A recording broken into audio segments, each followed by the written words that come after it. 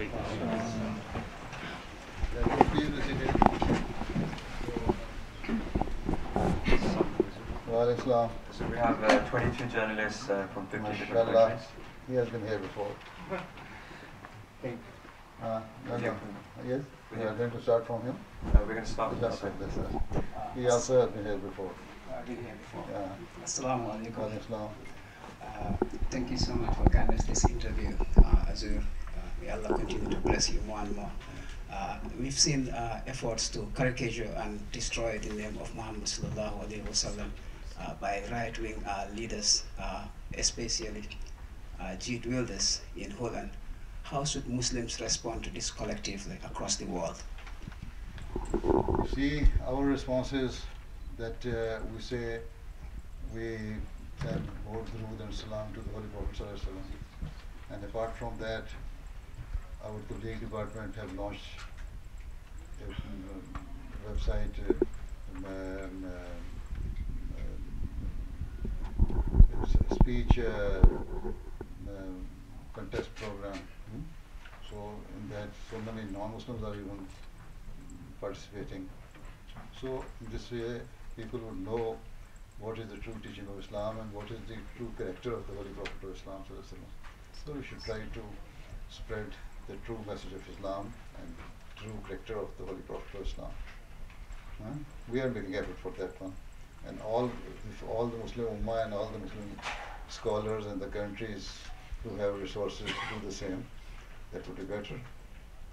Thank you so much. Soy de Argentina y conocimos la comunidad Ahmadía gracias al imán eh, Marwan Gil hace un año. Eh, y quería preguntarle, eh, ¿qué mensaje le puede dar a los ciudadanos comunes eh, para que puedan llegar a ser buenas personas, eh, ser amables, ser honestos y que su corazón no mm, recaiga en el odio, en la venganza y qué, qué nos puede comentar hacia la gente, los ciudadanos argentinos. Uh, she says she's from Argentina and she's uh, got to know the Jamaat through uh, Imam Marwan Gil uh, a year ago. And she's asking uh, what message uh, could Hazur give to the Argentinian citizens in order for them to become uh, better people with uh, high moral values and love in their hearts instead of having hatred and, um, and uh, hate, hatred feelings. You see, Argentina, the Argentinian people are also at least somehow uh, religious minded or religious conscious people. They believe in Christianity and they believe in God. So you should fear God. Always remember, you see, the basic thing is if you believe in God, then you must believe in this that God is always one and omnipotent God is always watching over you. And He is seeing all your actions and deeds. So the basic thing is if you fear God, then you will discharge your duties according to the teaching of the religion and God Almighty. So if that is done, then you can live uh, peacefully and harmoniously. And because this is the teaching of Allah or all of all the religions. Even Bible says, be peace and calm and kind to your neighbors and your fellow beings. This is the teaching of Islam. So if you have a fear of Allah and you obey the holy books and the religious teachings, then there will be peace and harmony in the world. This is what Ahmadiyya community has been doing everywhere across the world. Eh, dice que Yes. Sí, dice que el, en, en- en Argentina en concreto Ah, el- el- la gente es en su mayoría religiosa, son de hecho cristianos. Y es por eso que lo importante es eh, temer a Dios, creer en Dios y temer a Dios, porque una persona que sea temerosa de Dios, eh, automáticamente sus mo- valores morales van a, van a incrementar. Eh, y esto es común en todas las religiones, eh, no solo en el Islam, sino también en, el libro sagrado del, del cristianismo, en la Biblia también se habla de esto. Entonces, por eso es importante que la gente reconozca a su Creador y tema a Dios. Y, y esto es un esfuerzo que en concreto la comunidad Ahmadía está haciendo en todo el mundo. And also abide by the law of the land and respect human values and respect each other. Y también eh, deben ser eh, leales a la, a la ley, eh, a la ley de la tierra y, y respetar, eh, el respeto mutuo es importante también. Uh, yes.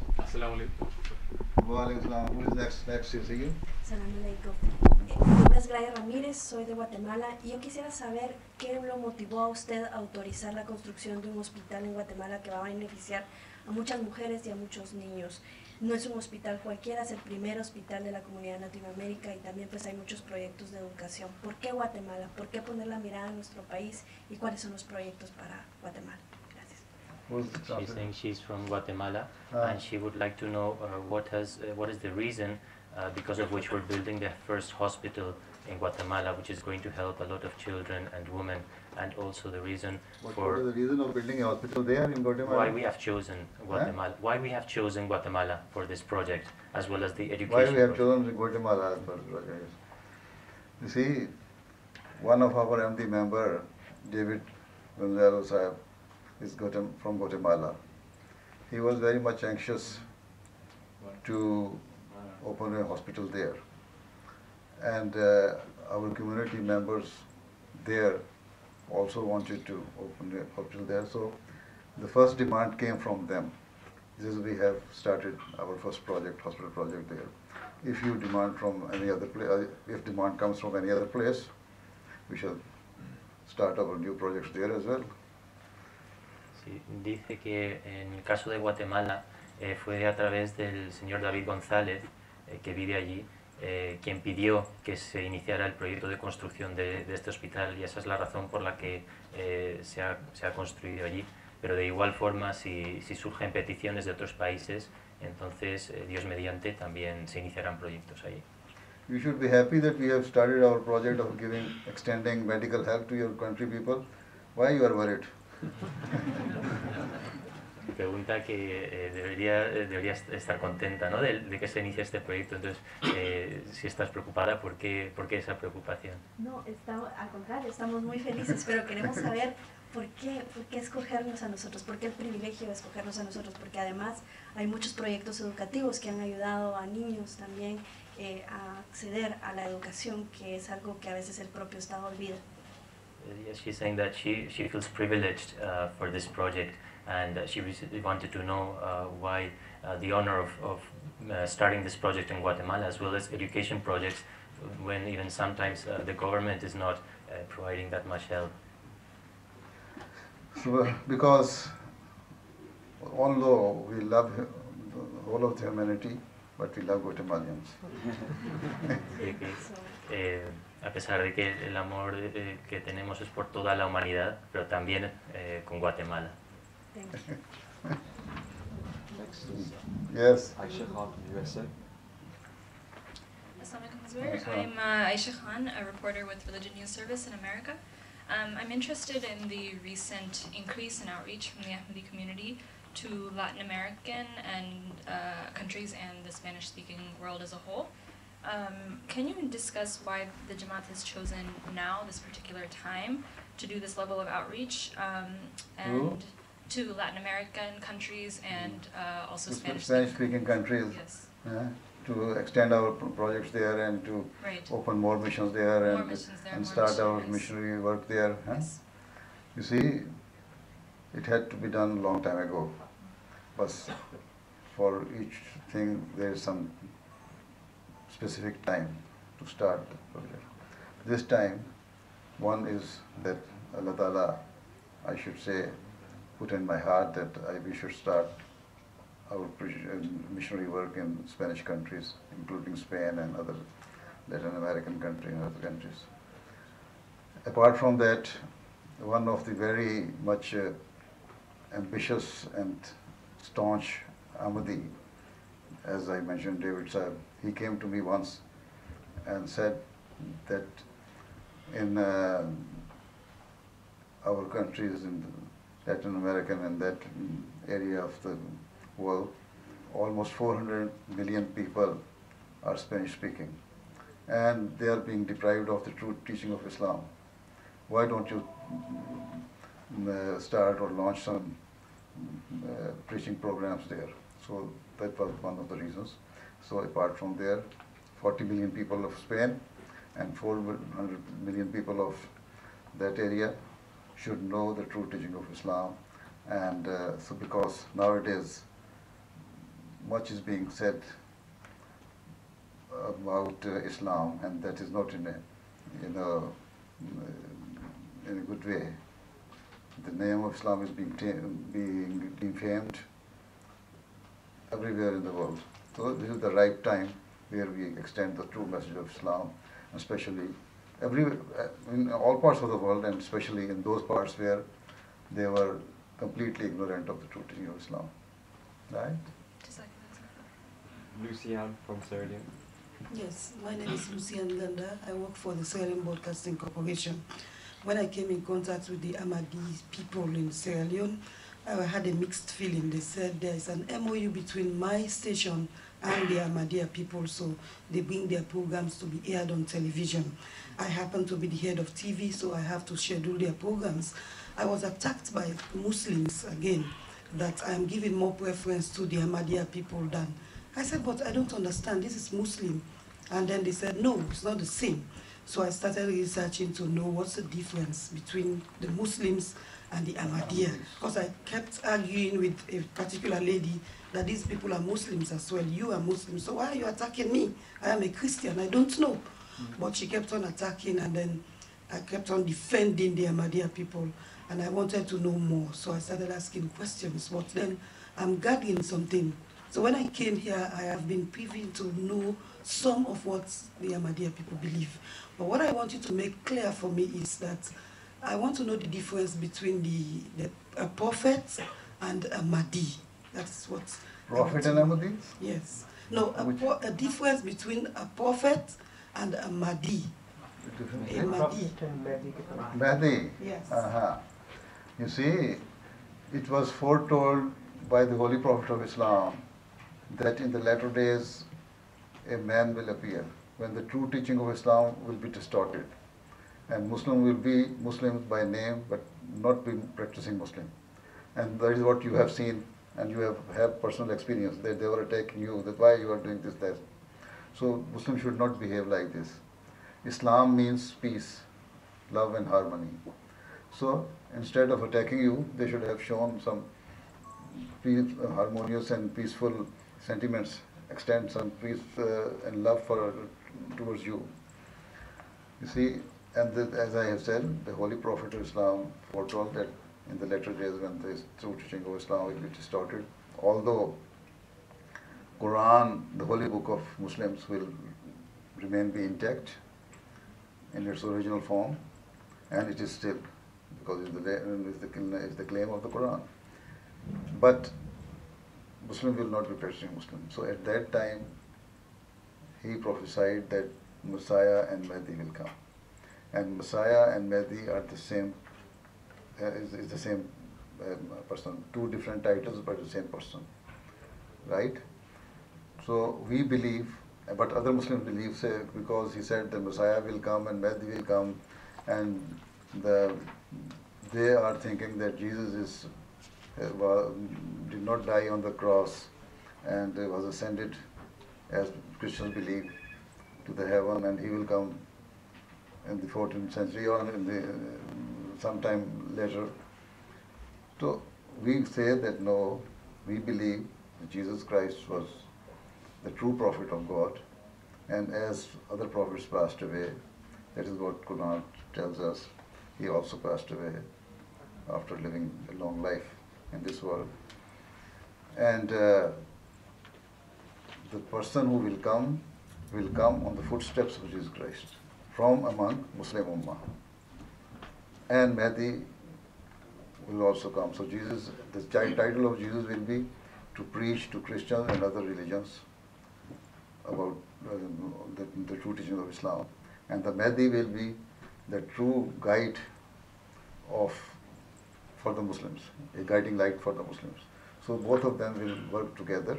I mean, this, both titles will work together, and the same person will be with the same title, with the with those both two titles, and he will spread the true message of Islam to other religions, to other nations, and to Muslim Ummah as well.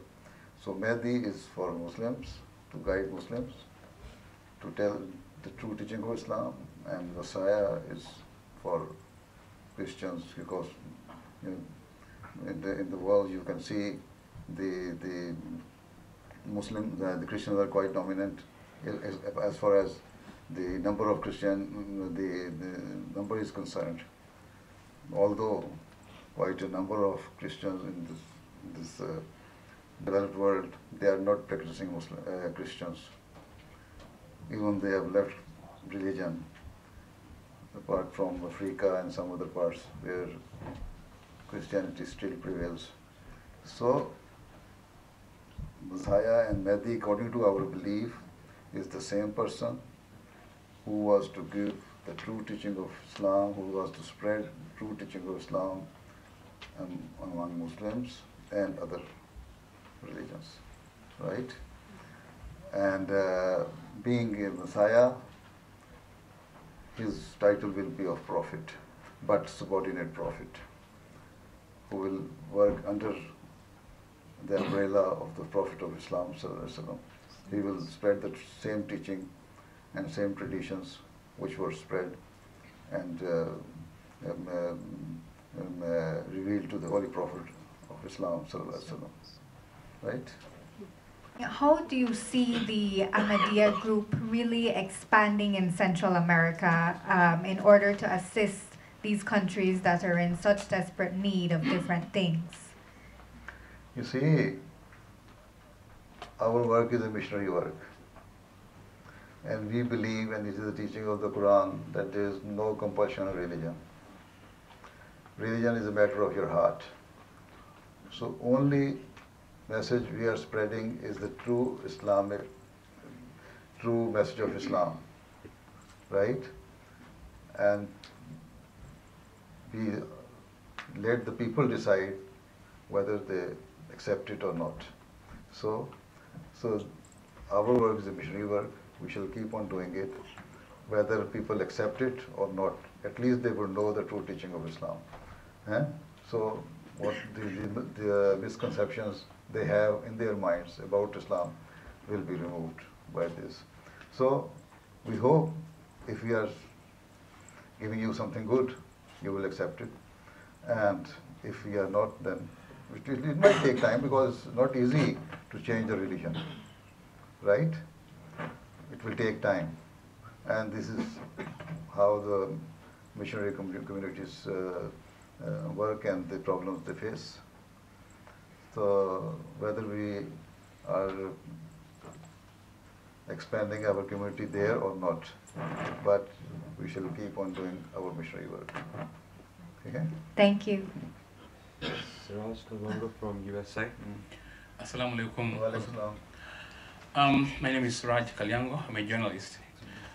Now, I just need to be guided the relationship between Islam and organizations like uh, United Nations, just for example, because UN advocates for like uh, education for all, equality, gender equality, and somewhere, somewhere, people say Islam uh, discriminates gender like women. So, uh, what is the relations between Islam and such organization that advocates things which looks at the face of it that against the what they think it is normal? I don't know whether uh, I'm understood. You see, as far as uh, Islam does not, first, first thing is that Islam does not discriminate between genders. Right? Islam says that respect women and give due right to the women. But Islam has the concept of division of labor. That women have this job and men have this job. Islam does not deprive women from getting education. So you could see, therefore, yesterday, quite a number of girls took uh, um, uh, medals and uh, certificates from me for having a higher education, right? So one thing is this. And how can we both work together amicably? If it is a true Islam that we believe, that we Ahmadis practice and spread, then we can work with any organization which is uh, UNO is not a religious organization. And Islam is a religion. And Islam says that you give due rights to whole of the humankind whether Muslim or non-Muslims right? So for these purposes where religious is, religion is not involved we can uh, just um, uh, work together and uh, extend our help. Even you know, during the time of Holy Prophet before his claim of being the prophet, he joined a, a committee which was formed to help needy and poor people. And after some time, when he was given the title of the Prophet and in Medina, he said that even if those people who are infidels, not Muslims, call me to join the same organization or association for the help or extending help to the needy and poor, I will join, join them. So, for the humanitarian work, we can work together.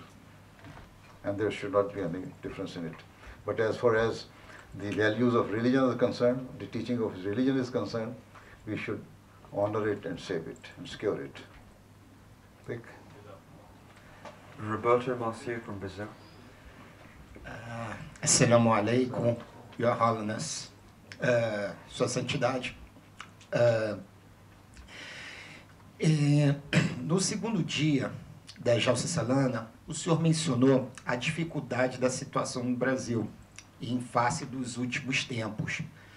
Qual, uh, qual, uh, como, qual o conselho que o senhor daria para melhorar o meu país? Uh, por conta dos problemas sociais eh, e tudo mais que acontece eh, no Brasil. Uh, I just speak uh, in English, but uh, just speak Portuguese. Okay, it's okay. my There's brother translate. Okay. Português बोल लेते हैं. Yes, yes. Okay, the person is here. Sim. É, qual o conselho que o senhor daria para o povo brasileiro nesse momento tão difícil que ele está passando? He's saying that. Yes. Have you finished? Yeah. He's saying that in the second day's speech of the Jalsa Salana, Hazur uh, mentioned the difficult situation Brazil is going through nowadays. So he want to know what would be your advice for the betterment of the country and to resolve the problems that people are facing. So I did not say because if you leave a cell phone, you will be okay. so my um, I said, and you know, it is on the news everywhere, uh, in the media, that uh, Brazil is passing through a difficult situation. And the best thing is then honest leadership and uh, hard work of the people of the country. Yes. If two things are there, then you will survive and you will even rule much, much better than the, not only overcome this uh, situation, but you will provide help to the other neighboring countries. Ok, thanks. Ele disse que ele não só disse que largando os celulares o país vai progredir, mas além disso ele acredita que para o progresso da nação como um todo, em primeiro lugar liderança justa e honesta e depois trabalho árduo por parte do povo. Ele disse que com essas duas coisas o Brasil não só pode contornar essa situação, como tem muito espaço para progredir e fazer grandes progressos. You speak Portuguese or Spanish? Um, I just speak Portuguese. My English, uh, sorry, is very no, terrible. but you are from Brazil. Yeah. And in yeah. Bra- Brazilians speak French, Spanish or Portuguese? Portuguese. Acha, acha. Muito obrigado. Thanks. Spanish is also spoken there. No? Yes, a little. I, actually, Portuguese is quite similar to Spanish, so. Acha, right. So, if if you correct these two peop- um, um, uh, uh, systems, government and the people, it will be okay. Então, se você corrigir essas duas situações, o governo e o trabalho pelo povo, então vai ficar tudo bem.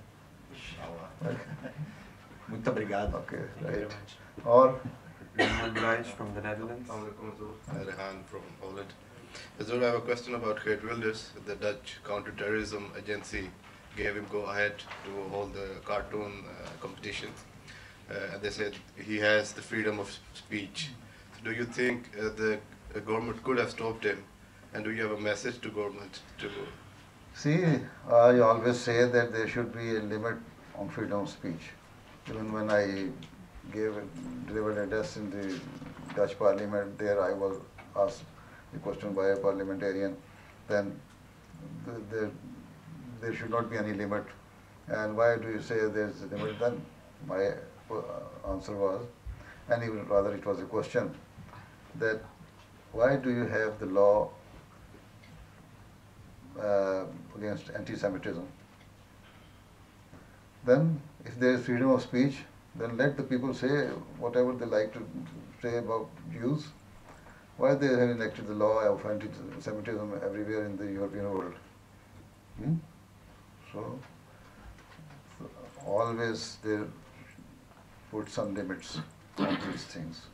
And if there are no limits, then the disorder will spread and enmities will develop and